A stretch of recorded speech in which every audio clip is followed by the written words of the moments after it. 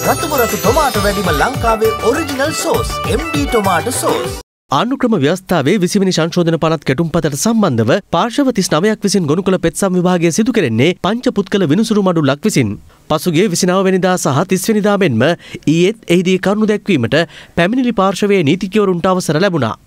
ඉන් අනතුරුවයි පෙත්සම සඳහා මැදිහත් වී කරුණු දැක්වීමට අවසර ඉල්ලූ ජීඑල් පීරිස් ගාමිණී ලොකුගේ නිමල් සිරිපාල සිල්වා යන අමාත්‍යවරුන් ඇතුළු අට දෙනාගේ පාර්ශවයේ නීතිඥවරුන්ට කරුණු දැක්වීමට ඉඩ ලැබුණේ. කෙටුම්පත සම්මත වීමට නම් පාර්ලිමේන්තුවේ තුනෙන් දෙකක බහුතරය ප්‍රමාණවත් නොවන බව හා එය ජනමත විචාරණයකදීද සම්මත විය යුතු බවට පෙත්සම් පාර්ශවයේ නීතිඥවරුන් මතු කළ තර්ක පිළිබඳව මෙහිදී ඔවුන් කරුණු මතු කළා.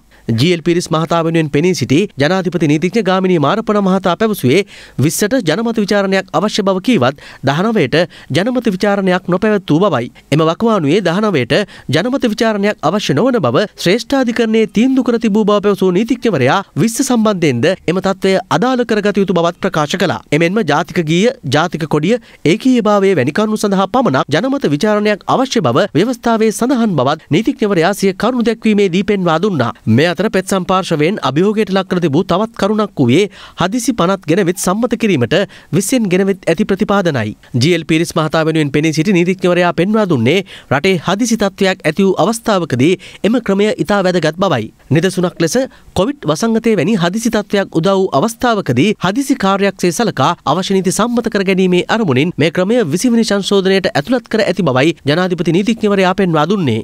අනතුරුව කතිකාචාර්ය WAD වීරතිලක මහතා වෙනුවෙන් පෙනී සිටි ජනාධිපති නීතිඥ තුෂාන්ද අල්විස් මහතා අධිකරණයෙන් විමසා සිටියේ ව්‍යවස්ථාවේ 13 වෙනි සහ 19 වෙනි සංශෝධන පවා ජනමත විචාරණයකින් තොරව සම්මත වූවා නම් 20 වෙනි සංශෝධනයට ජනමත විචාරණයක් කුමකටද යන්න පිළිබඳවයි. 19 වෙනි සංශෝධනය ඉදිරිපත් කර තිබුණේ යහපත් අරමුණකින් නොව එක් පවුලකින් පලිගැනීමේ චේතනාවෙන් බවත් නීතිඥ තුෂාන්ද අල්විස් මහතා පැවසුවා. එසේම 20 වෙනි සංශෝධනයෙන් ව්‍යවස්ථාවේ සම්මත පදනම කිසිසේත් වෙනස් නොවන නිසා ඊට ජනමත විචාරණයක් අවශ්‍ය නොවන බව කියමින් ඔහු තර්ක කළා. එමෙන්ම අතීත මැතිවරණවලදී විධායක ජනාධිපති ධූරය අහෝසි කිරීමේ වරම් ඉල්ලා සිටියත් ඉකුත් මහ මැතිවරණයේදී මෙන්ම ජනාධිපතිවරණයේදීද ජනාධිපතිවරයා ශක්තිමත් කිරීමේ හා දහනවය අහෝසි කිරීමේ අරමුණෙන් අති බහුතරයක් ජනතාව ඡන්දය පාවිච්චි කර ඇති බව මෙහිදී ජනාධිපති නීතිඥ ශවේන්ද්‍ර ප්‍රනාන්දු මහතා අධිකරණය හමුවේ පෙන්වා දුන්නා. පෙත්සම් විභාගය ලබන සඳුදා දක්වා කල් තැබුණා.